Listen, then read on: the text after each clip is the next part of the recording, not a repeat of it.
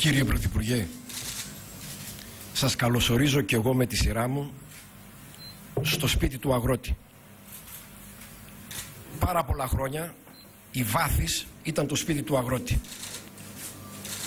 Και από εδώ χτυπούσε η καρδιά της αγροτιάς. Άλλες φορές στο σωστό δρόμο και άλλες φορές σε παρακλάδια τα οποία έπρεπε να διορθωθούν.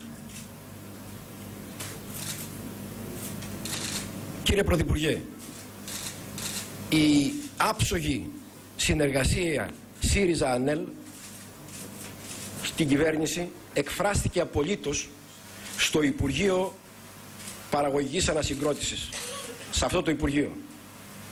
Εγώ και ο κύριος Αποστόλου δουλέψαμε σκληρά στο λίγο καιρό που είχαμε ώστε να μπορέσουμε να αναπτύξουμε και να δώσουμε διεξόδους στον αγροτοδιατροφικό τομέα.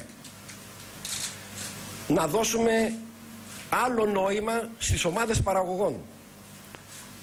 Να συνεργαστούμε με τους οργανισμούς τους εποπτευόμενους για να μπορέσουμε με αυτόν τον τρόπο να ενισχύσουμε την αγροτική παραγωγή γιατί αυτό είναι το κυρίαρχο ο αγροτοδιατροφικός τομέας που πάσχει και κατά δεύτερον λόγο να ενισχύσουμε αυτούς που παράγουν που είναι οι αγρότες.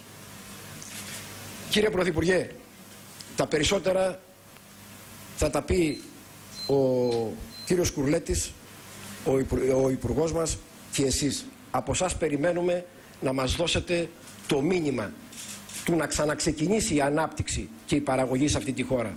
Γιατί χωρίς παραγωγή δεν ξεπληρώνονται δανεικά. Τα δανεικά ξεπληρώνονται μόνο με παραγωγή. Το λόγο έχει ο Υπουργός μας, τον οποίον και αυτόν καλωσορίζω στο σπίτι του αγρότη.